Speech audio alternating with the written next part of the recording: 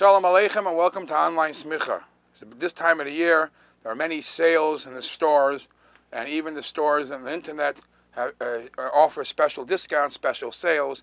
It's the shopping season, and it would be right to discuss a halacha that uh, happens quite often, and see what, what the halacha says about it. You know, you order something, uh, either in a store or online, and uh, they say uh, either you free shipping or that you pay for shipping and your order will be delivered, let's say in a week or two. They guarantee the order delivered in a week or two. Uh, sure enough, you're anxiously awaiting for your, your, your things that you bought. A week passes, you don't see it. Two weeks passes, you don't see it. you call up the company said, I paid for my item. They check it up. Yes, you're, you're paid for. I haven't gotten the delivery. Says, really? All right, let's wait a little longer and we'll see. So he waits a day or so more and he calls back and says, I still don't have it. So they say, fine, we'll send you a new one. They send this, they send you a new uh, item, uh, clothing or uh, electronics or whatever it is. They sell you a, a new one, send you a new one, and guess what? Sure enough, by the time you got your, your new piece, this first one came at a late delivery, and now you have two pieces in your home. And the question becomes, what does halacha say? Do you have to return now that you have uh, both of them? Is it is one? Are you obligated to return one of them, or that's part of the system? How would the Torah look at such a thing?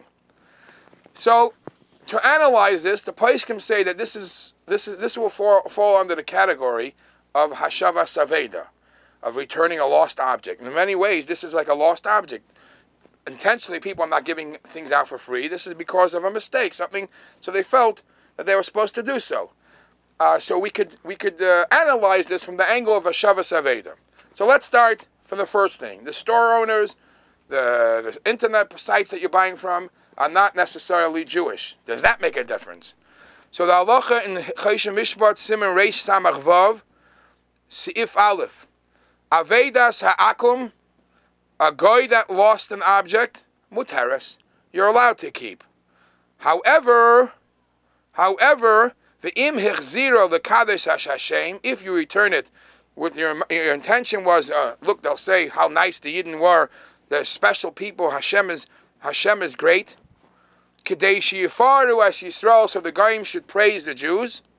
The Yedu Shem Bale Amuna, and they should say, wow, these, these Jews are trustworthy, honest people. Hareza Meshubach. So even though al halacha you could keep a goyish aveda, but the halacha clearly says it's praiseworthy for a person to return even a goyish lost object.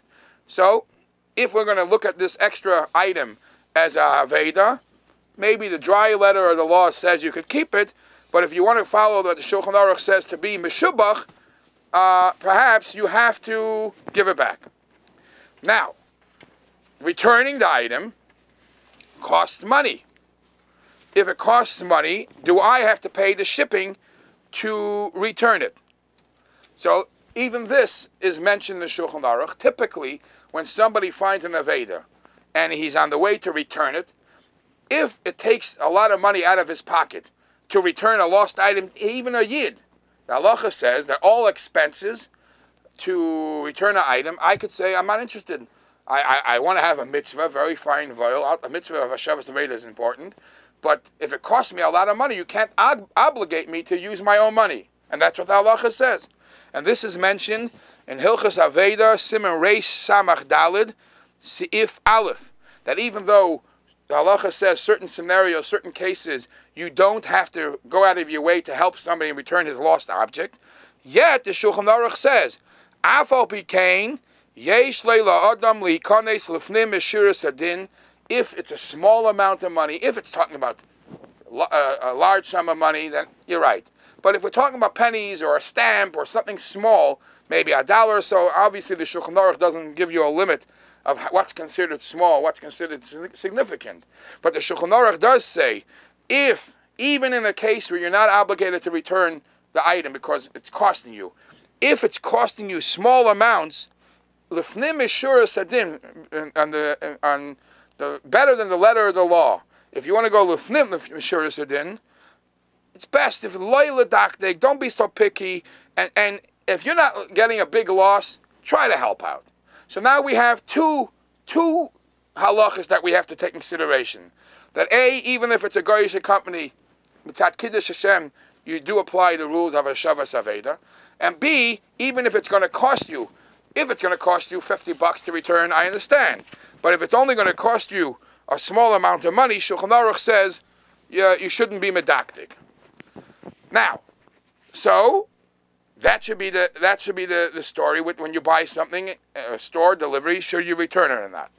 Here comes another halacha.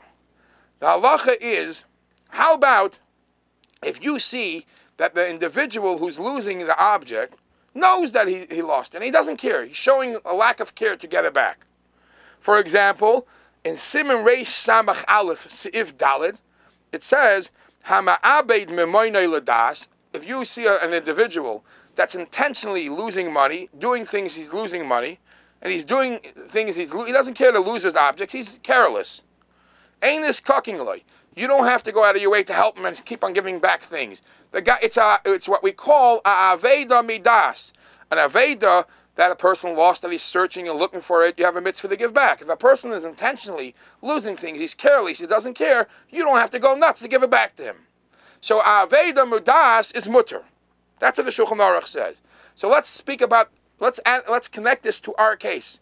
A store owner who sends you a second a second uh, item could when you uh, the way to categorize it that it should be considered a Veda Midas is one of two ways. Either you call them or you send them an email and say, I got I got two copies. What should I do? So if they if they if they don't respond, try once, try, try twice. That would be categorized Aveda Midas. They're careless. They don't care. This is part of the way they do business. You know you did your part. You don't have to spend any money. Or even if they do respond and they want you to return it, then, then it'll depend on the halachas I mentioned before. But then there's one last point. The last point is that you have to take in consideration that these companies have that part of the plan. They have part of the plan that part of the customer service is that if a thing gets lost in the mail or whatever, they, they take the, they, they bite this bullet and they are willing to spend spend the extra money to send you another one. Because of that, it might be considered Aveda Medas. Again, if there's a lot of money uh, to send it back, you definitely don't. If you feel that you're going to make a Kiddush Hashem a small amount of money, you may, but Al Allah, you don't have to go out of your way to do it.